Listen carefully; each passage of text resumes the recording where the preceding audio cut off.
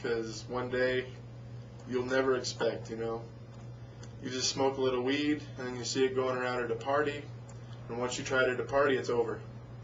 Once you even, you know, once you see a buddy doing it, it's like, hey, well, he's doing it. He doesn't look so bad. But it takes control. It totally, totally grabs you by the balls. I looked at selling drugs as a job. It was my job to sell drugs, and I did it really good. You owed me money. I had a collection agency. Called them the Duct Tape Brigade.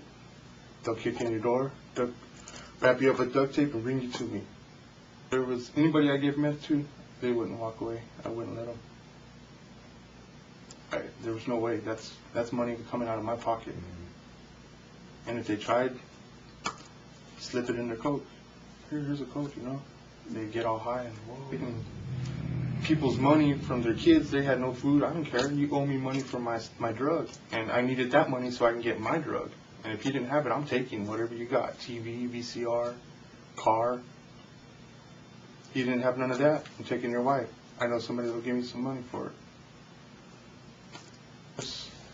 I was like to tell you, I was a ruthless person. I didn't care. Running away, and sleeping with people who I didn't even know, and ending up doing stuff that I didn't want to, but I did. The drugs. I've been kidnapped.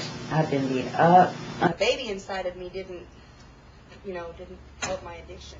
And I used my whole pregnancy. I was walking out of the building, me and another lady, and we were attacked by four men. Um, I was brutally beaten, raped, and stabbed. I almost died. The ones who are wearing gold chains, just chilling, you know, in the high schools and stuff.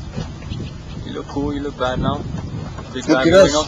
Checking out, so you have your lady sitting next to you, probably have some dope in your pocket. You think you're bad now, wait, wait till you get caught. And then when Look you at get us, caught, when we're you in get caught, that lady, man. that lady's address next to you, she ain't gonna be right there. She's not gonna be there no more. And all your friends, all your little homies who are at your back, your skin off. Effective is it prison or death? Yep. Uh, prison and death. And most of the time it's death.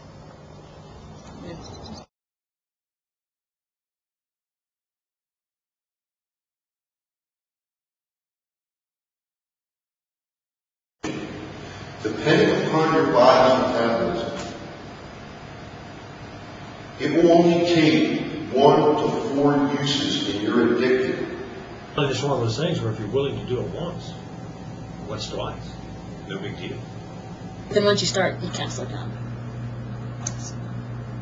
It's not worth it. None of it's worth it.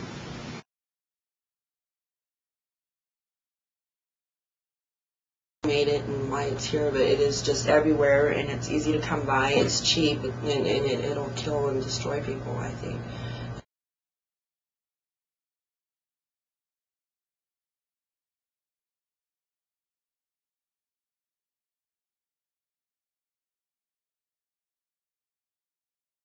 It was horrible, you know.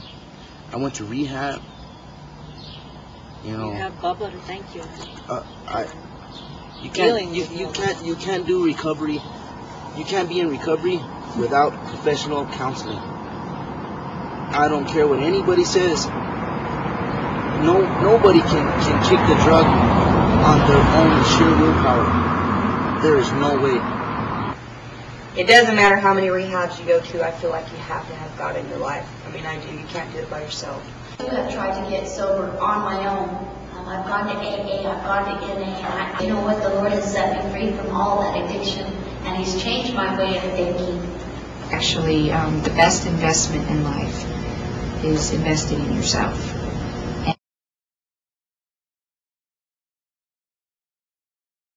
And I think a lot of people are just really uneducated about it. They don't. No, parents need to educate themselves. You know, parents need to see what the signs are.